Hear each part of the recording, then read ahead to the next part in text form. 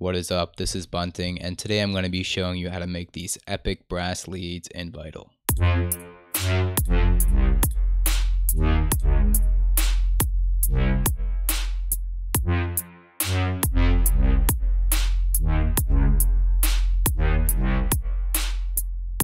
Alright, so right away just going to initialize our patch here, and as I'm doing that, I just want to say the majority of my viewers are not subscribed. So if you enjoy my content and want to see more of it, please consider doing that. That would help me out a lot. All right. So right here we have just our basic saw wave and right away to make it more brassy, we're going to bring up our attack a bit and bring down our sustain and decay. And also might as well bend it a bit to give it some nicer dynamics already sounding much brassier. And next thing we're going to do is we're going to change our wavetable to low high fold and drag it to around, I would say,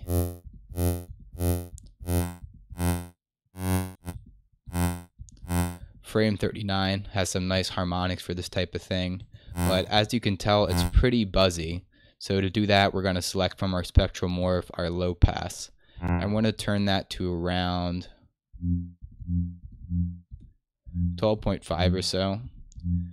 But don't worry, we're going to bring out everything as it comes along. Mm-hmm. So to bring things out, we're going to add some FM is what we're going to do. Turn this to around like 15% or so and enable our second oscillator and turn our pitch, I mean our level down. Additionally, to leave some room for these higher harmonics and add some more bass, we're going to transpose our first oscillator down 12. Cool. In addition to that, it's a little too buzzy for my taste, so also going to low pass this wavetable right here. Just this saw wave. Okay. Is that where I want it? That'll do. Okay. And to add some stereo and make it further brass like, we're going to add some unison, adding multiple voices into this mix, all the way up to 16. And dragging down our detune just a hair so it's not too phasey and crazy. Cool. Liking how that sounds so far. Now, the real magic happens in this filter here. And this filter that we're going to be using is under combs and it's the band spread flange plus. Now for this, we are going to drag our blend all the way up to stop all this cutoff from happening and also drag our resonance up. And it has this really interesting effect. I'm sure you can hear it. it sounds very brassy. But in addition to this, we are going to turn on our key track because we want it to follow any note that we press. So just drag this up to 100.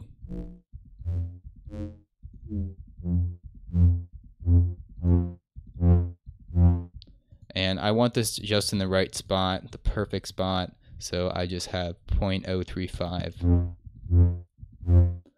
And that just sounds the best to me, the most brassy, the most tuned for what we're going for. All right, to add some further dynamics to this, we are going to put an LFO on this resonance so it gives it a little, you know. So let's drag this LFO back a bit, kind of shape it up real nice and put it on envelope mode. That way it doesn't re-trigger without us hitting a new note. Drag this back a bit more and assign it to our resonance.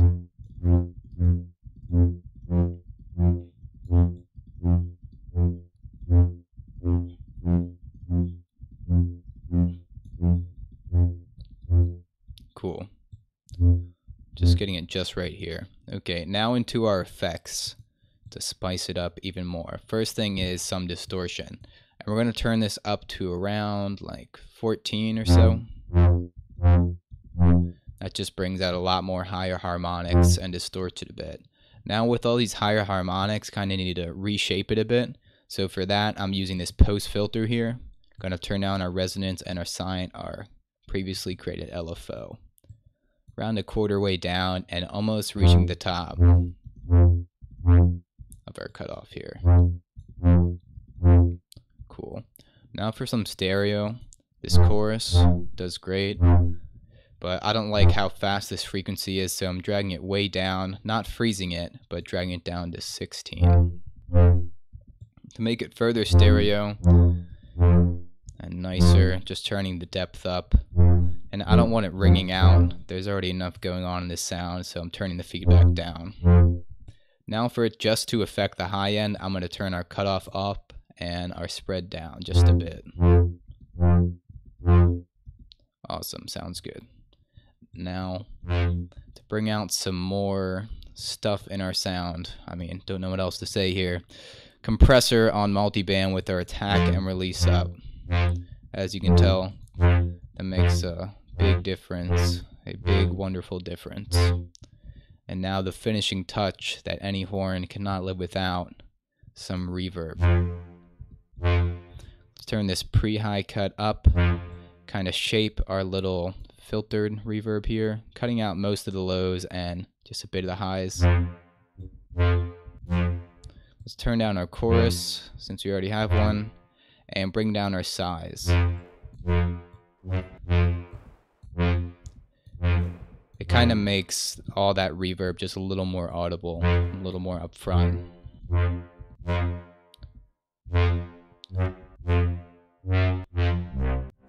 And that is our patch. And while you're at it, you can make the voices mono, or you can hit them both at once, but I don't know if that's what you're going for. But go ahead, drag the voices to one, and let's play our sound in context.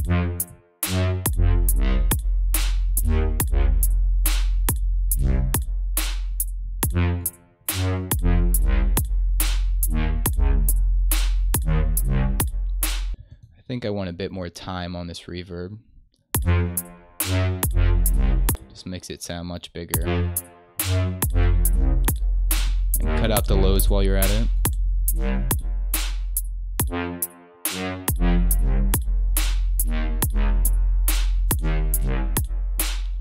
Cool. So that is our brass patch, our epic horn lead, trap, EDM, dubstep. Use it in whatever, just have fun with it. It's a little precise in the adjustments here and there, especially on that filter. So make sure you follow really closely and get it to the T.